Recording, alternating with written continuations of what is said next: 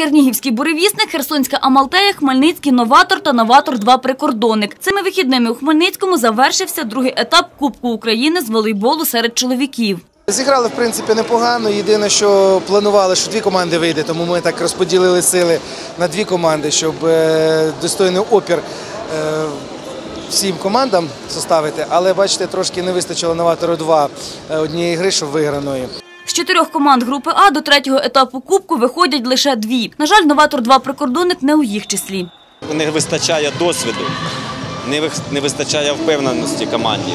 Тобто десь ще вони дуже емоційно грають, кидають свої позиції, тобто не виконують задачі тренера, які ставить на гру.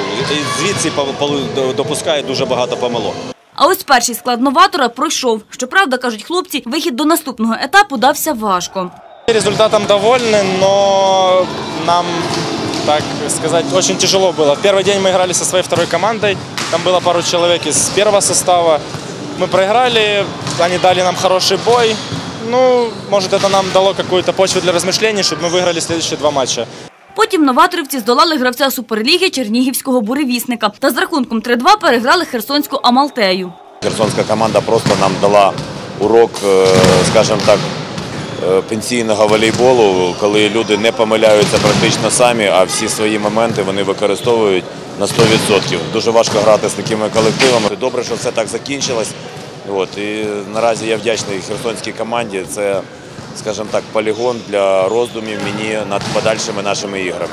А найближче через два тижні у рідних стінах новатор зустрічатиме суперника Суперліги Дніпро. Зараз е, цей клуб переживає не найкращі часи. І відповідно, скажімо так, е, знаходиться внизу турнірної таблиці, але ми не зважаємо на його сьогоднішні результати.